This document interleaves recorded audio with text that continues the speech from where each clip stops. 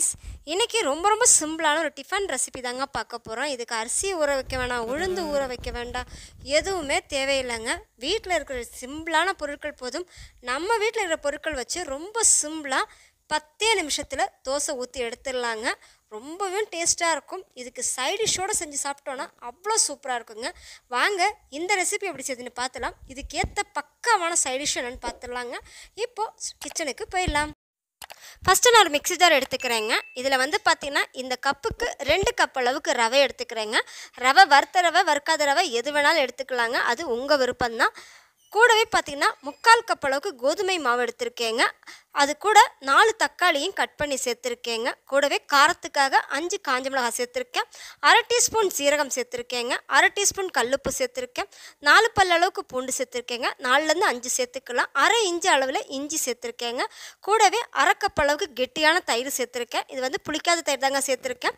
அது கூடவே பார்த்தீங்கன்னா ஒரு கப் அளவுக்கு தண்ணியும் சேர்த்து நல்லா ஃபைனாக அரைச்சி எடுத்துகிட்டு வந்துடலாங்க உங்களுக்கு தண்ணி எவ்வளோ தேவையோ அதுக்கேற்ற மாதிரி அட்ஜஸ்ட் பண்ணி அரைச்சிக்கோங்க. இப்போ பாருங்கள் நான் அரைச்சி எடுத்துகிட்டு வந்துட்டேன். இப்போ இந்த கன்சிஸ்டன்சியில் இருந்ததுன்னா கரெக்டாக இருக்கும். ரவை போட்டு அரைக்கிறதுனால இதுலேயே நல்லா அரைஞ்சிருங்க. இது ரவை பார்த்தீங்கன்னா நல்ல பொடிசு ரவை கிடைக்கும். அதை எடுத்துக்கங்க. உப்புமா பண்ணுற ரவை தாங்க. இதுக்கு ரொம்பவே யூஸ்ஃபுல்லாக இருக்கும். இப்போ அரைச்சதை வந்து நான் ஒரு பவுலில் மாற்றிக்கிறேங்க தண்ணி எவ்வளோ தேவையோ அதுக்கேற்ற மாதிரி ஊற்றி அட்ஜஸ்ட் பண்ணிக்கோங்க. இதை வந்து பார்த்திங்கன்னா ரொம்ப நேரம்லாம் ஊற வைக்க போகிறதில்ல ஜஸ்ட்டு ஒரு பத்து நிமிஷம் இதை ஊற வைக்க போகிறேன் அவ்வளோதான். நல்லா கலந்து விட்டுட்டேங்க. உப்பு மட்டும் செக் பண்ணிக்கலாம். உப்பு செக் பண்ணிட்டு தேவைன்னா போட்டுக்கலாங்க. அவ்வளோதான். இதை மூடி வச்சுட்டேன். இது அப்படியே ஒரு ஓரமாக இருக்கட்டுங்க. இப்போ இதுக்கு ஒரு சைடிஷ் ரெடி பண்ணிக்கலாம். அதுக்கும் எதுவும் வதக்கிற வேலையெல்லாம் கிடையாதுங்க.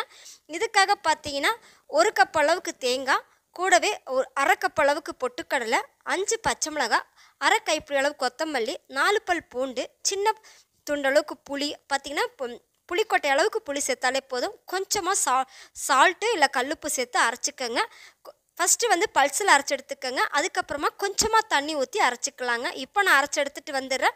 இப்போ பாருங்கள் நல்லா ஃபைனாக அரைச்சி எடுத்துட்டுங்க அரைக்கிற கன்சிஸ்டன்சியும் இந்த மாதிரி இருக்கணும். ரொம்ப கோ கோஸாகவும் இருக்கக்கூடாது ரொம்ப ஃபைனாகவும் இருக்கக்கூடாதுங்க. ஒரு செவன்ட்டி ஃபைவ்லேருந்து எயிட்டி பர்சன்டேஜ் அளவுக்கு அரைச்சிட்டாலே போதும். கொத்தமல்லி சேர்த்து அரைக்கிறனால ரொம்ப வாசனையாக இருக்குங்க. டேஸ்ட் அவ்வளோ சூப்பராக இருக்கும். தக்காளி தோசைக்கு இந்த மாதிரி தேங்காய் சட்னி செஞ்சு பாருங்கள் அதாங்க டேஸ்ட் ரொம்ப சூப்பராக இருக்கும். இப்போ இந்த சட்னி ஒரு பவுலில் மாற்றியிருக்கேன் எவ்வளோ தண்ணி தேவையோ அதுக்கேற்ற மாதிரி அட்ஜஸ்ட் பண்ணிக்கலாம். இந்த சட்னி ரொம்ப தண்ணியாகவும் இல்லாமல் ரொம்ப கெட்டியாகவும் உள்ள இருந்ததுன்னா ரொம்பவே கரெக்டாக இருக்கும். டேஸ்ட்டும் பக்காவாக இருக்குங்க. நான் வந்து இந்த கன்சிஸ்டன்சியில் தான் வச்சுருக்கேன். இப்போ இதுக்கு ஒரு தாளிப்பு சேர்த்துக்கிறேங்க. ஆயிலில் கடுகு சீரகம் உளுத்தம்பருப்பு காஞ்ச மிளகாய் கருவேப்பிலை சேர்த்து தாளிச்சிட்டு தாளிதமும் சேர்த்துட்டேங்க. சேர்த்துட்டு கலந்து விட்டுட்டு உப்பு மட்டும் செக் பண்ணிக்கோங்க. தேவைப்பட்டதுன்னா ஆட் பண்ணிக்கலாம். அவ்வளவுதான். பெருசாக எந்த வேலையும் இல்லைங்க. ஆல்மோஸ்ட் பாதிக்கு மேலே வேலை முடிஞ்சிடுச்சு. இந்த சட்னி அப்படியே ஒரு ஓரமாக இருக்கட்டும். கரெக்டாக பத்து நிமிஷம் ஆயிடுச்சுங்க. இப்போ மாவு பாருங்கள் எந்த அளவுக்கு இருக்குன்னு. இதுதான் மாவோட கன்சிஸ்டன்சி நம்ம ஆப்பசோடாவோ பேக்கிங் பவுடர் எதுவுமே ஆட் பண்ணலங்க. தயிர் மட்டும்தான் சேர்த்துருக்கோம். அதில் தான் புளிக்க வச்சுருக்கோம். இப்போ மாவு ஒரு வாட்டி கலந்து விட்டுட்டு தோசைக்கல் வச்சுக்கலாங்க. நாங்கள் யூஸ் பண்ணுறது பார்த்தீங்கன்னா நான்ஸ்டிக் தாங்க. நீங்கள் எது வேணாலும் யூஸ் பண்ணிக்கலாம். இதில் வந்து ஆயில் அந்தளவுக்கு தேய்க்கக்கூடாது.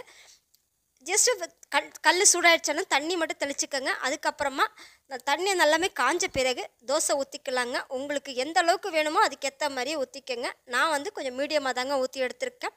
ஊற்றின பிறகு ஒரு பக்கம் நல்லா செவந்து வரும். இந்த மாதிரி வெந்து வரும்போது ஆயில் அப்ளை பண்ணிக்கலாங்க. கொஞ்சமாக ஆயில் சேர்த்துக்கோங்க. நான் வந்து அதிகமாக தோசைக்கு நல்லெண்ணெய் இல்லை நெய் தாங்க சேர்த்துப்பேன்.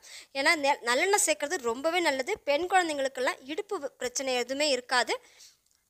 இப்போ அவ்வளோதாங்க தோசை போட்டு எடுத்துட்டேன். பார்க்கவே ரொம்ப சூப்பராக வந்திருக்குங்க. ரெண்டு பக்கமும் நல்லா வேக வச்சு எடுத்தாச்சு. இதே மாதிரி இன்னொன்னையும் போட்டு காட்டிடுறேங்க.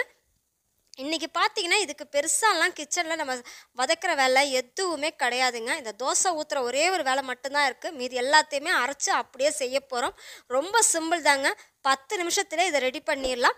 அதே மாதிரி பார்த்தீங்கன்னா எத்தனை தோசை வேணாலும் பண்ணிக்கலாங்க. நான் ரெடி பண்ண மாவில் பதினஞ்சு தோசை வரைக்கும் பண்ணியிருக்கேன். பார்த்தீங்கன்னா ரவையோட அளவு ஒரு கால் கிலோ அளவுக்கு தான் இருக்கும். அதில் பாதி அளவுக்கு தான் கோதுமாவும் வச்சுருக்கேன்.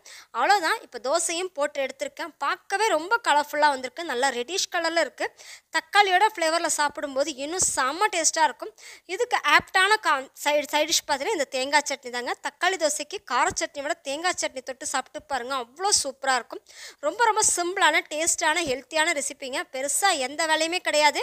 அஞ்சே நிமிஷத்தில் செஞ்சு முடிச்சிடலாம். அவ்வளோதான் ஃப்ரெண்ட்ஸ் இன்றைக்கி இந்த ரெசிபி நான் உங்கள் கூட ஷேர் பண்ணியிருக்கேன். உங்களுக்கும் இந்த ரெசிபி ரொம்பவே யூஸ்ஃபுல்லாக இருக்கும்னு நினைக்கிறேன்.